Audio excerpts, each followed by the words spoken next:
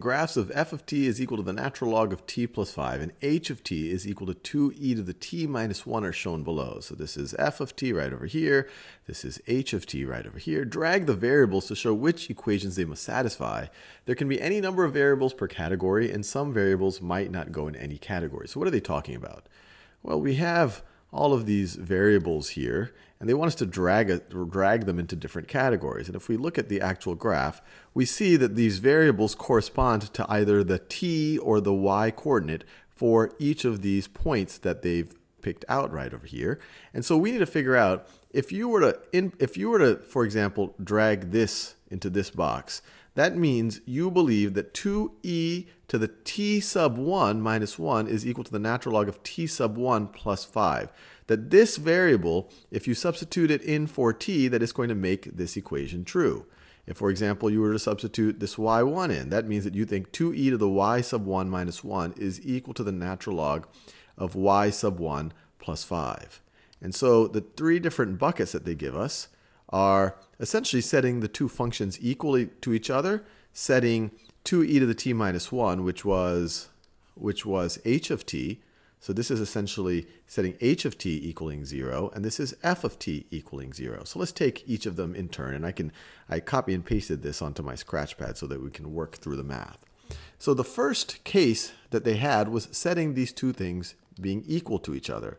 So for what t's, or what can we substitute in for t, so that the natural log of t plus 5 is equal to is equal to 2e to the t minus 1. And that's another way of saying for what values of t is f of t is f of t. This is another way for what values of t is f of t going to be equal to going to be equal to h of t. Well, two functions are equal to each other at a given t is if you put that t in, they both give you the same function value. They both give you, in this case, if we say y is equal to f of t and y is equal to h of t, they'll both give you the same y value. So if when you input some t in here into both of them, so you input the same t into both of them, and if you get the same output out of both of them, that would correspond to the same point. So we're essentially saying, where do these two functions intersect each other?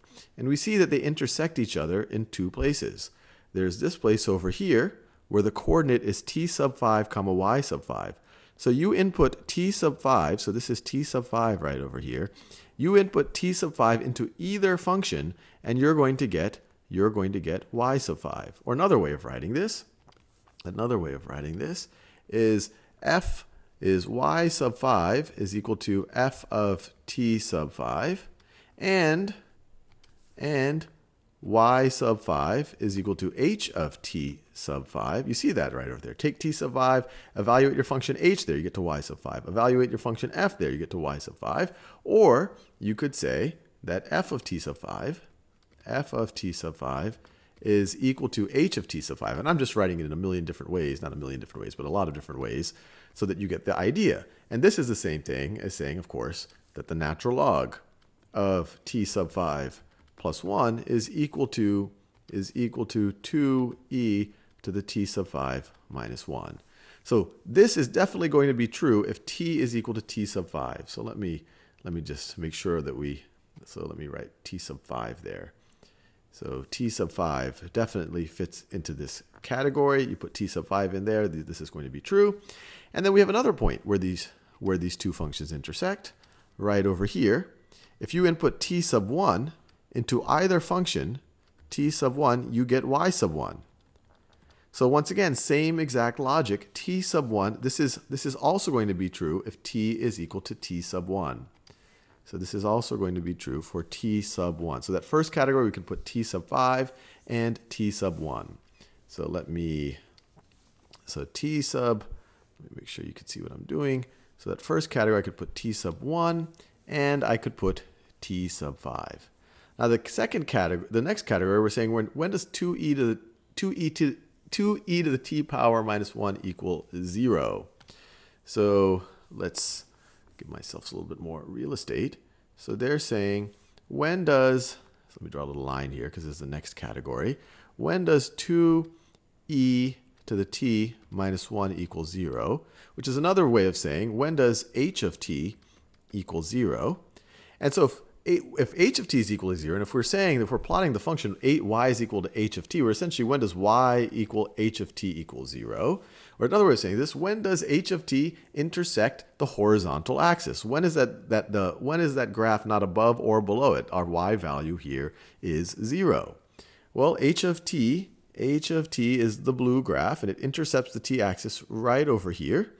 It intercepts the t-axis right over there. We see that h of t sub 3 is equal to y sub 3, which is equal to 0. Or actually, I could even write it this way. h of t sub 3 is equal to 2e to the t sub 3 minus 1. That's just from the definition of h of t. And that they, we know that that's going to be equal to y sub 3, which is equal to 0. y sub 3 is clearly equal to 0. We're clearly intersecting the t-axis there. So t sub 3 would fall into that second bucket. And that's the only place where on the graph of h of t where it intersects the t-axis. So t sub 3 is the only variable I would throw into that bucket. So let's do that. So I would throw t sub 3 into this bucket. And then the last bucket, we're doing the same thing now for f of t. So f of t is the natural log of t plus 5. When does that intersect? When does that intersect the t-axis? So this is f of t right over here we clearly see right at this point, f of t sub 2 is equal to the natural log of t sub 2 plus 5, which is equal to y sub 2, which is equal to 0. So that last bucket, this, this thing, natural log, natural log of t plus 5 is equal to 0. This was that last bucket. This is going to be true for when t is equal to t sub 2. So we could throw t sub 2 in that last bucket. So let's do that. t sub 2 gets to go into that last bucket, and we are done. These other ones we are not going to use. I mean, you can, the rest of them, these are the y values that the functions take on at those different points. And t sub 4, t sub 4 is kind of interesting. T sub, T sub 4 is actually clearly equal to 0 because that's when we intersect the y-axis. So that's, I guess, an interesting point, but not one of the points that would satisfy those buckets. And now we can check our answer, and we got it right.